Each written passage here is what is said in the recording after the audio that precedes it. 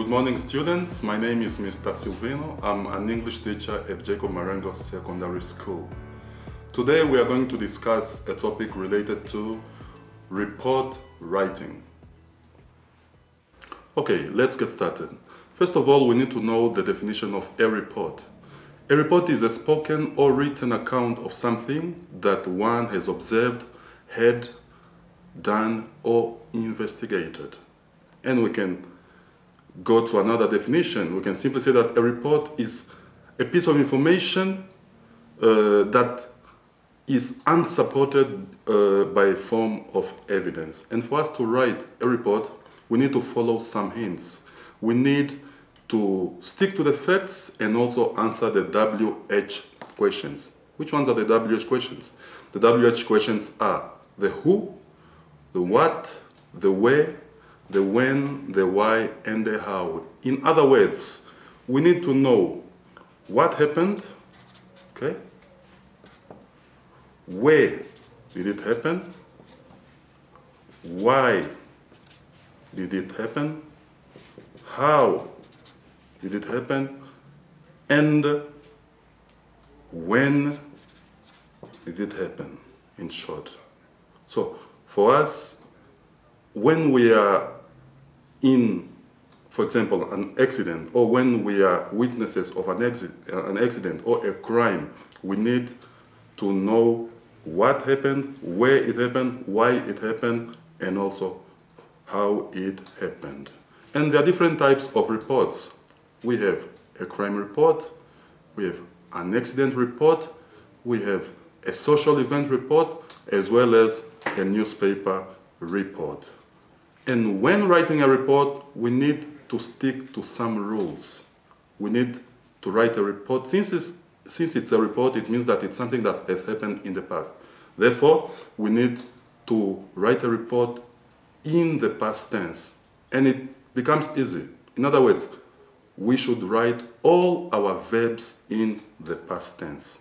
And the second point is that we should write in an indirect speech. In other words, since it's a report, we should, and we are reporting something that has happened in the past, we should write in reported speech.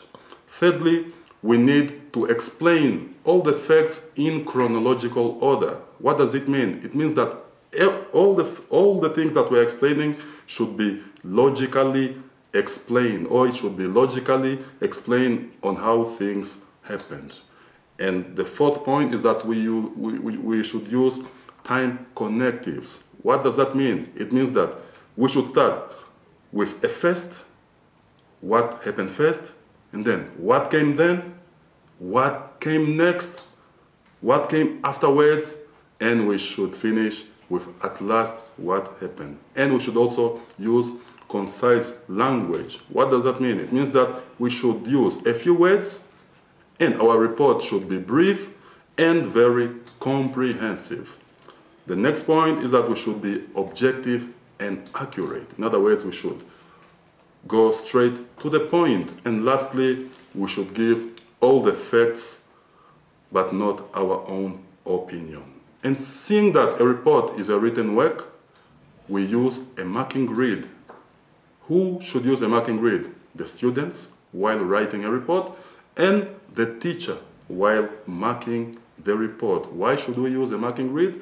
The marking grid will guide you to know if you are paragraphing properly, if your punctuation is well placed, or if you are making or not making spelling mistakes. That will help you as a student to write your report properly, without mistakes, without errors, without punctuation failures, and without spelling mistakes.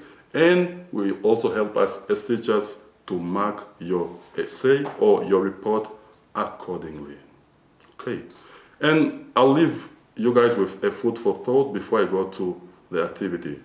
We've noticed that students, when writing written work, essay, narrative essay, argumentative essay, report, or summarizing, you usually make confusions with the words than and then. Okay? You should know that than and then are homophones. What are homophones?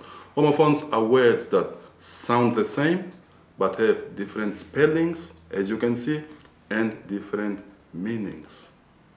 Another important uh, point that you should know is that than is a conjunction or it may be a preposition, okay? Whereas then is an adverb or it can also be an adjective. Okay, so how are we going to differentiate between the words than and then? Okay, we should know that than is used for comparison. Example, Silvino runs faster than John. Okay, so we are using than to compare that Silvino runs faster than John. So than is used for comparison, whereas then is used for time.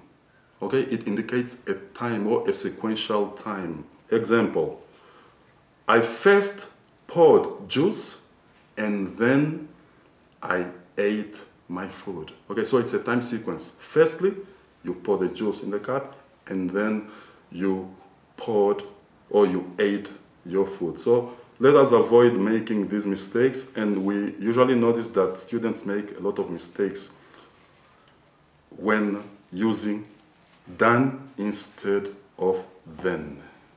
Okay, let us go back to our activity. Seeing that now we know what a report is, we know the hints, we know how to follow, which steps to follow, we should also know that when writing a report, you are given a topic. So when writing, you start with a topic. After writing the topic or the title, move on to your introduction. After the introduction, give a body and always end with a conclusion. All right. In the beginning, we spoke that there are different types of, of, of, reports, a crime, an accident, a social event, or a newspaper report. Imagine that you are told to write a crime report, okay? You may use it in an imaginary way. For example, Silvino and John attended a, a social event at Safari Hotel. And while they were leaving, they encountered a break-in a car on the parking lot. And you saw two thieves breaking in a car. The thieves, when they saw you, they ran away and you decided to call a police, I mean the police. So I would like you guys to write a report of 150 words on what happened, where did it happen, how did it happen, why did it happen, and also if you called the, the, the, police or not, and also what was the action taken by the police when they arrived on the scene. And also don't forget to mention the characters that were involved in the report. This will be Silvino and John, who left the social event at Safari Court Hotel to go to the parking lot when they encountered the two thieves that were trying to break in a car. That's all for today, and uh, I hope to see you guys next time. Thank you.